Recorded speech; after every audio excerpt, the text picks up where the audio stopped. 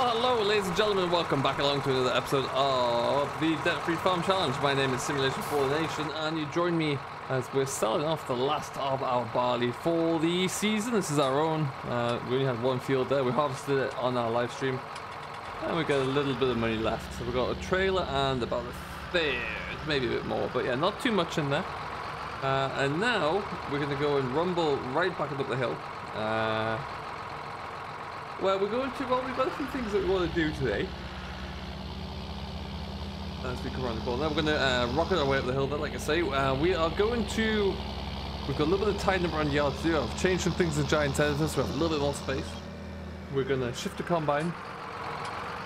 If the weather's right, we might start on the contract. We're going to do some fertilizer spreading because that's a quick and easy contract to get done. And we're going to look at some mows and probably start some mowing as well that we've uh, we've acquired some new mows. If you didn't watch the live stream there the other day uh, on Monday afternoon, there we we've upgraded our mows again. Uh, the Alpine extension has really afforded us with a great opportunity that we can't really say no to, to be honest. That's, that's uh, exactly what we've done. Uh, and we're going to get cracking with that one. So yeah, we're really making some good, good progress. I have returned the round baler, but now, uh, beautiful as it was, uh, we just didn't need it. Um, and it was nice to get some different bales in, but yeah, it's gonna be, we've got a lot of, uh, we've got a lot of baling of our own to do with our big Kuhn, so we'll just hang on to that one uh, for now there and see how it gets going. So yeah, ultimately everything is looking good. Uh, a busy old week again for the channel. There's some great streams. There's a few things that I, um, that we're going to be looking into here, really, with the channel. Uh, a few different bits of news, really, to fill you in with as we uh, as we get through this. Um, so the first one is uh, we are. There's a new hashtag going around with this with the channel at the moment. There's hashtag 15k before Christmas Day. Now, it's a big stretch. Obviously, you will know that not so long ago we uh, we hit um, 14,000 subscribers, which is pretty cool in its own right. Big thank you to everyone who's joined recently. That really does mean an awful lot. Uh, we're creeping our way on up towards the uh, 15k mark, so we're about 14,100 right about now.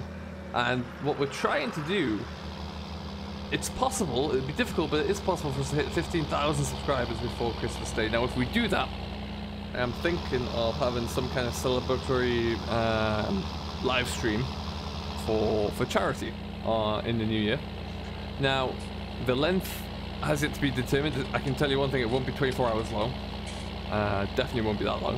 Uh, but that's all needs to be figured out, the how and the when uh, and the where, but and the, the who as well, which charity will be supported for. But it's, it's certainly something that is uh, it's something I feel like would be a good effort to do. So we're going to certainly look into that one. But it does need your help. We do need to get towards 15,000 subscribers to be able to do that there. So if you haven't done so, do hit that subscribe button. Um, encourage your friends, tell your neighbors, uh, your teachers, your co-workers, whoever it may be. Let them know to come along and subscribe. Uh, and we'll see how we get on there. But yeah, that's going to be pretty cool. Uh, I might do like six hours. I might do a bit more. Who knows? Might be 12. I don't know. But we'll figure that one out when the time comes. Uh, elsewhere though, we are, as many of you do know, we're kind of entering towards the the end of Meadow Grove. We're kicking on a little bit, doing a lot of work, getting a lot of things taken care of, uh, which is good. So uh, wrapping up the series there bit by bit, and we're trying to kind of get ourselves in. But the what that does mean is that a lot of people have asked me about this in the past, and I've always declined because it was always active. But I am going to be speaking to the relevant uh, people involved to get their respective permission there to see if I can actually release Meadowgrove as it is, my my series. Uh, release it for download, release the game save, release the map.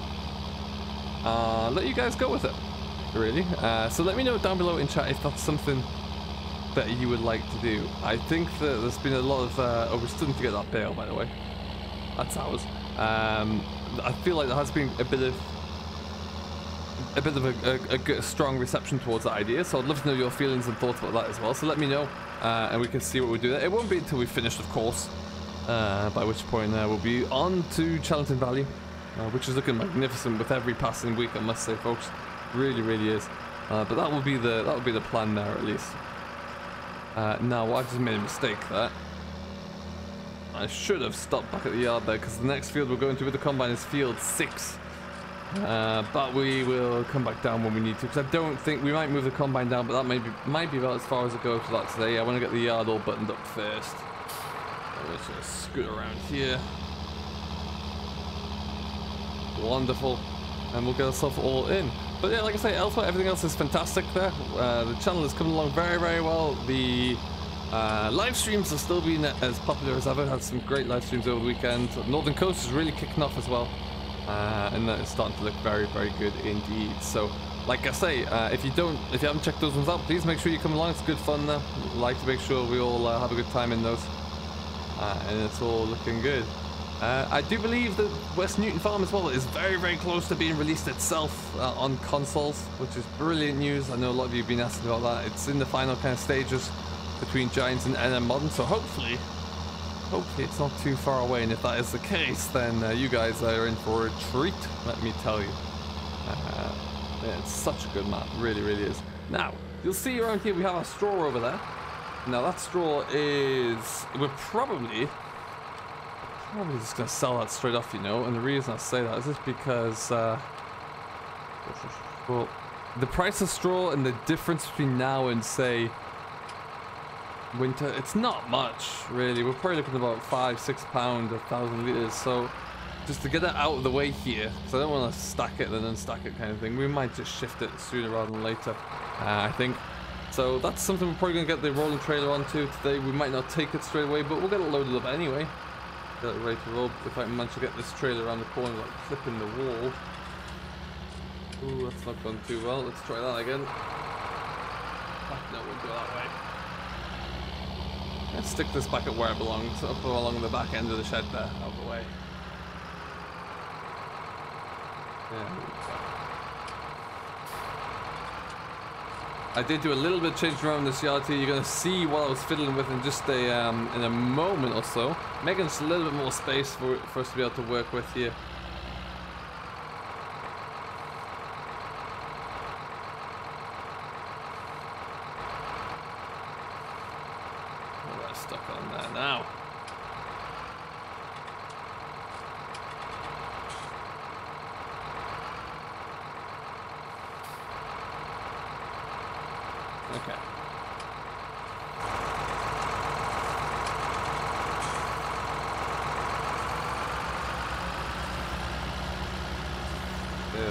So we'll just dot this one back around here.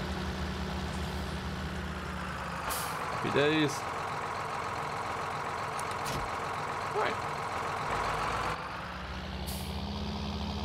So, let's just go and hook up onto the Roland for now, I think. Uh, no, actually, we won't. That's we're going to get the fit fertilizer spinner on because there's a quick contract we can do with that. Didn't take too much. Uh, and what we're also going to do, in fact, no, again, change my mind move the. I want to move a few things around because uh, we're going to be needing these sooner rather than later. The next thing we're going to need probably is the rake actually because I think what we'll do is get ourselves tied up here, then go and start some mowing. So we'll put the lovely new Pottinger rake onto the 78. And I'll turn my beacons off for once. There we go. Miracle I remember to do that. I do love that rig. I think that looks fantastic. Uh, so like I said, we did change our mowers out. Uh, they are hidden around the corner here. Our sheep are doing well. Sheep are looking very, very good. Uh, we have gone for, we got Pottinger mowers now. It's not exactly the matching kit there, but I love this front Pottinger mower. I think this looks beautiful. The mechanism on it is great as well. So we're going to start with that. Um, now, we might need to swap these around. I think we could be being a little bit ambitious with the 3650, but these real uh, Pottinger mowers don't require a great deal of power. So I'm going to give it a go. I'm curious. I really hope it does work, but uh, it might be asking a little bit too much. So uh, maybe we'll get that swapped around. But I just wanted to pick these up from the store like this. So we can, uh, in fact, no, we'll we'll get this swapped around right about now. Uh, and then this shed's going to have, uh, once again, I'll have the rakes, uh, the rake and the balers and the combines stored in here over the uh, winter months. Uh, but yeah, again, look at the detail on this back end of the Pottinger mower here. Just stunning. really, really is. Now, what I did over here uh, I've moved a few things around there, given us a little bit more space so I can actually move these bales to one side or the other so I can get more bales in there, which is going to be pretty crucial. Uh, But we'll leave that there for now, and then just poke this over here, I think.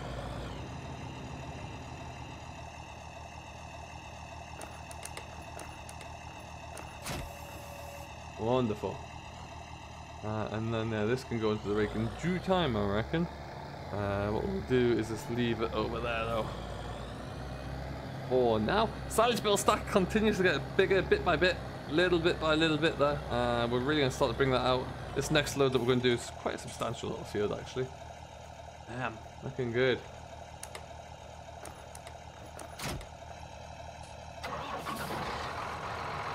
We've got quite a big field to do. I decided that we're going to take a chance. We're going to do a big silage contract because it's worth a lot of money. Essentially, it pays off the mowers already. Um, so we'll get that one done. And then, like I say, we'll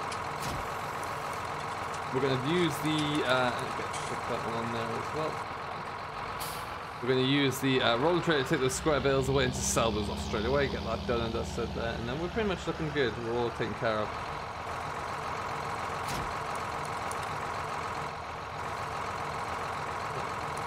You go.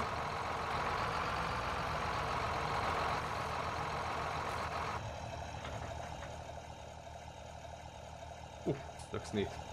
Listen to the rattle of that tractor just rolling over there. Beautiful. So how's everything going with you folks? I hope it's all very well. Do let me know down below what you're getting on with there. So needlessly switch off. Uh, let me know, yeah, what you worked on. Which, uh, which maps you're on. How your debt-free farm is going. If you are indeed getting uh, stuck into it, us know how it's coming along there. Always keen to know. And if you haven't done so, of course, you can uh, come and show off your progress within the uh, debt-free farm section of the Discord server. Uh, links for which are in the description down below. Uh, but that can be left there. And now, as I mentioned, as we come on into our contract menu. And as you can see within our contracts here, we've got field 46 is going to be our big one to jump onto there. There's a few sowing contracts coming through as well, but check out the number of baling contracts. They just stay and stay and stay. Uh, so 46 is just down past the stables here, so it's a fair size. It, uh, it takes some mowing, that's for sure. But we'll uh, we will get that all done and dusted. Uh, and I think we'll just go get that started now. Actually, uh, so we'll take down the 77, the 49, uh, 70, oh, the 4955 is all round to go still on the baler. Again, still eagerly anticipating the arrival of the uh, of 4D Modding's masterpiece there. Can't be too far away, I'm sure. Uh, let's just go this way. We'll get ourselves on Novo. Any moment still get the lights on. I love that Dominator. It's so good to have that back there and get that working.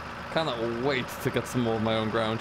Uh, that field there, now that it has been pretty much all clear, as soon as we get that straw sold off, is this going to be uh, turned into or ploughed over? We're going to extend the land on it as well so we can uh, plough in all the grass on the side there to make a bigger field. And then we are all looking good. I am and what we might actually do right about now, once we get ourselves down to the field there, I'm going to sell the drill that we currently have. I'm going to buy a new drill, a drill that I've been using on my Dedi server um, with my uh, channel members, and it is beautiful. It is another Kverneland drill, I suppose, but oh, is it ever nice.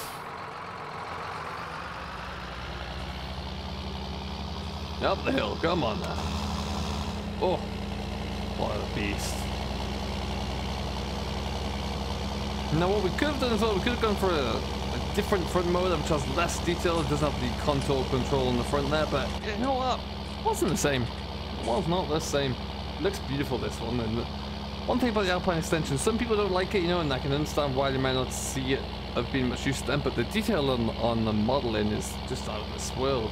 Really, even on things like things you might perceive to be a bit ordinary, like a 3 meter cultivator, the modeling is just insane. It really is. So be curious to see how that looks.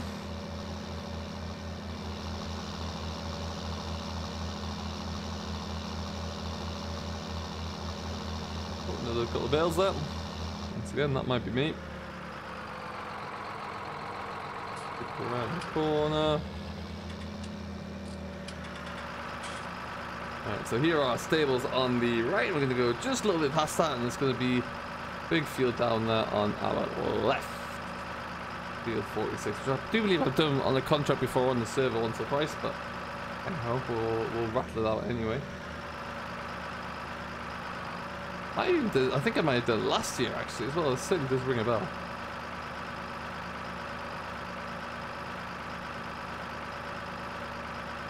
Yeah, we ho well hopefully we've already got 50 sheep at the moment there, which is a great start.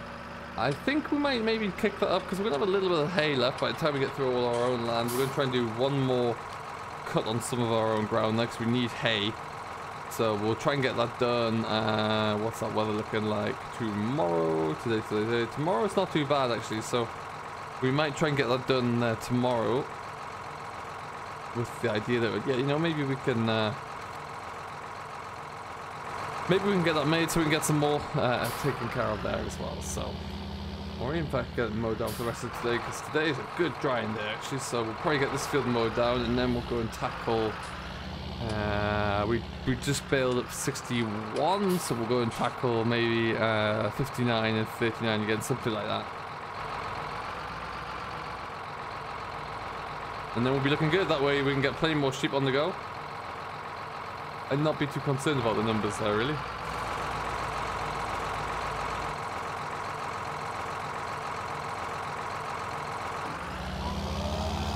Set that away. Look at that go.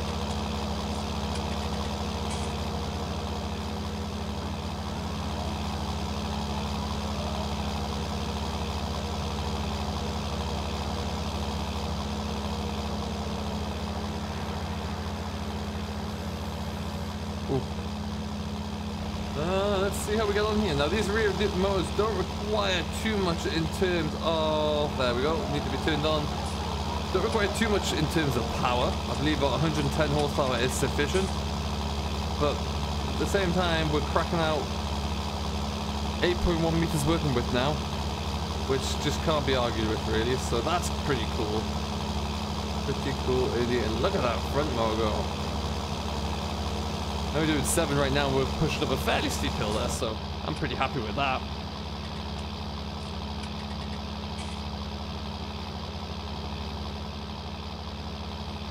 Very happy with that, in fact.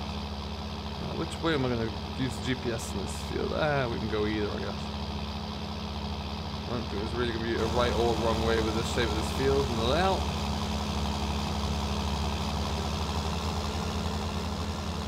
Course, there's a contract, so quite how close we need to get to the edge of the field is uh, debatable, really, I guess.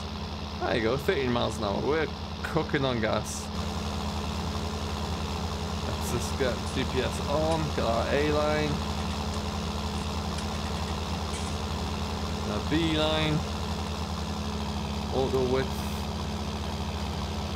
Just make sure a quick check, sense check of the lines. There we go. Eh, no,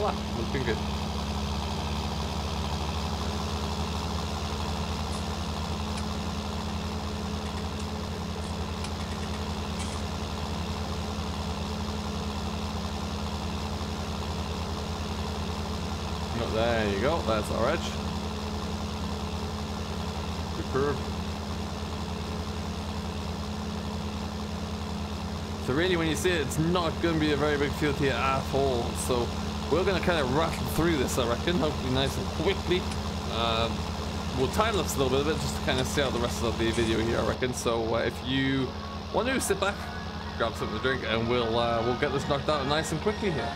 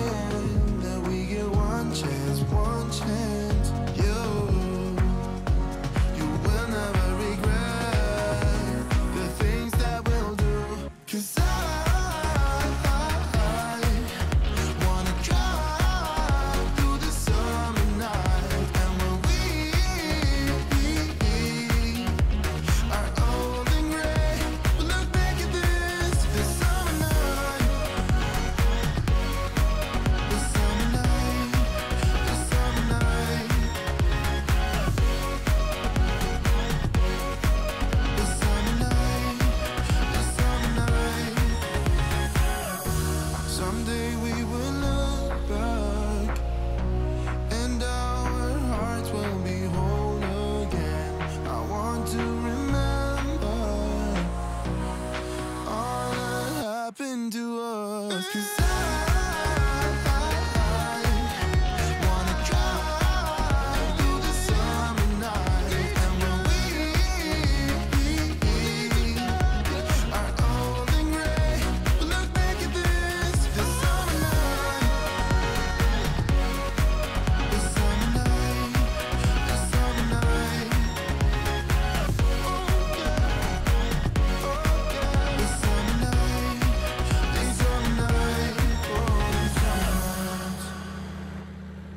Well, folks, look at that machine. It's flying along here. We just knocked it all off to give it a bit of a breather, but the uh, oh, GPS is working well. I'm sure you'll agree there. Uh, we're going to keep flying through this. We're knocking this down very, very quickly there, so it should make mincemeat of the rest of this field. Then we'll take it back home and do the home fields for the hay.